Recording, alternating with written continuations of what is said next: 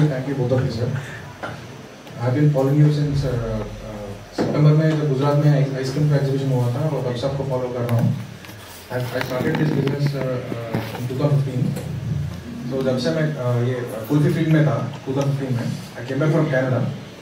Uh, uh, uh, वो 2015 में जब से जब मैं शुरू करा था ये ये बिज़नेस मेरे को uh, जैसे मेरे को कहा गया था मैं वैसे कर रहा था आई डोंट एक्सपर्ट नहीं करना कर रहा था and I don't know how to do the new flavours जब तीन चार महीने तक सब कुछ ठीक रहा था, एक बार जब फेल हुआ था, जब तक अच्छा चला था, मैं सोचा कि ये चलो मैं आगे बढ़ूँगा। जब एक बार फेल हुआ था since 2016 January I been looking searching ये बुक्स बुक्स देख था इन्फॉर्मेशन के लिए, ताकि ये ट्रेनिंग ऐसा कुछ मिलेगा। आई बीन तीन साल का कोर्स है, चार साल का कोर्स है, लेकिन क्रैश कोर्स ऐसा कुछ भी नहीं first time in India I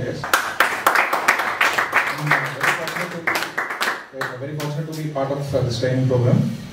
And uh, first, another second thing I like is uh, you you united everyone from different places in India. You united us with national anthem, which I like the most. And every day, uh, uh, हर morning हम जब आते हैं तो डल डल रहते हैं आपका national anthem focus completely and मैं इधर आने से पहले जब आपसे बात हुई थी संदीप सर से मुकेश सर से पहले दो डेढ़ वन एंड हाफ़ मंथ के पहले तभी मैं एक डॉल डॉली एंड ड्यूएच का बॉक्स ऑर्डर कर, कर दिया था ताकि आने के बाद यहाँ सीखने के बाद तुरंत जाते वो प्रोडक्ट लॉन्च करेंगे बोल के I am not confident on your products and thank you so much सब लोग मेरे हेल्प करें।